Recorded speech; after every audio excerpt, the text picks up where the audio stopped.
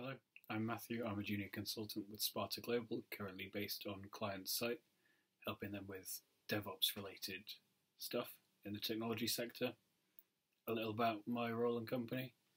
Sparta Global is a company that trains young professionals, people trying to get into the tech industry, for 10 weeks in various uh, specifications. So uh, there's a data stream, a business stream, and a technology stream.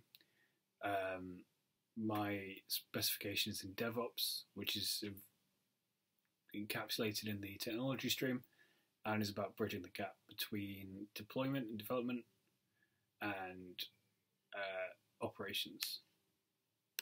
What attracted me to the role in industry? You know, I've always been interested in tech, programming, that kind of thing. Uh, so I followed it from a young age, doing it at A level and then going on to do computer science at uni. Um, I just feel like DevOps was the perfect role for me because I've always been passionate about breaking down barriers in communication in the industry. It's a big, um, big stereotype that everyone in the tech industry is really bad at communication. I just really wanted to smash that and improve it in any way that I could. And DevOps was the perfect platform for me to do so.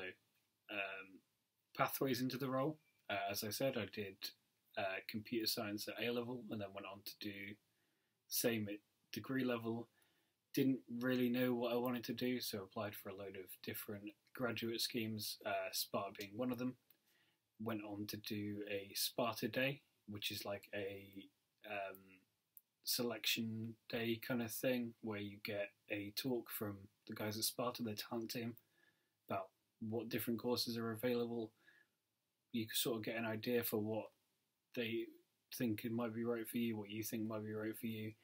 Do a few various tasks like team building exercises and interviews and group interviews and group presentations. It's a fun day, get to know everyone there.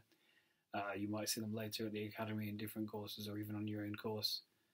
Um, after that, you go into the academy, do training course of six to 12 weeks, I think, for some of the longer courses. Mine was 10 weeks doing DevOps. Uh, I learned more in those 10 weeks than I did at three years at uni. Uni just really wasn't for me with the exams um, side of things. I didn't do too great in that.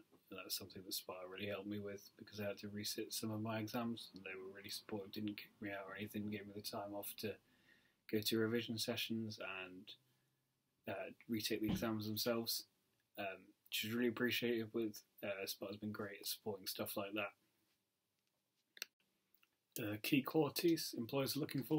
I think it's confidence and good communication at the moment. There's plenty of people coming in with technical skills. Sparta, especially, can train you up in those technical skills. Obviously, having good independence, problem solving, all that's really good, a really good benefit. But as long as you're confident and as long as you've got those good communication skills and you're dedicated, I think that's the main thing, at least personally. Uh, I know some of my technical skills weren't up to scratch, uh, but if you're dedicated and willing to put the effort in, and you can really uh, communicate well and say, "Look, I don't think this is going, this is going great.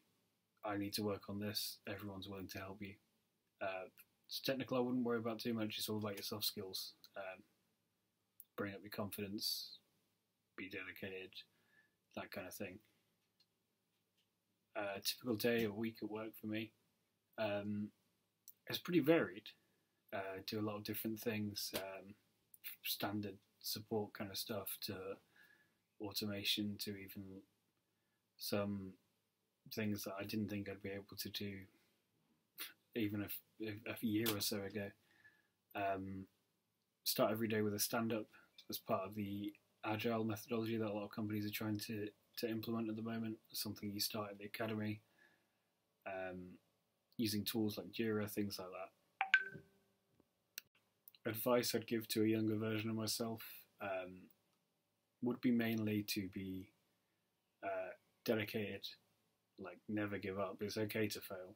It's okay to not need to, not know what you what you want to do when you grow up. I didn't know until I went to the Sparta Day and saw the DevOps course and knew that was exactly for me.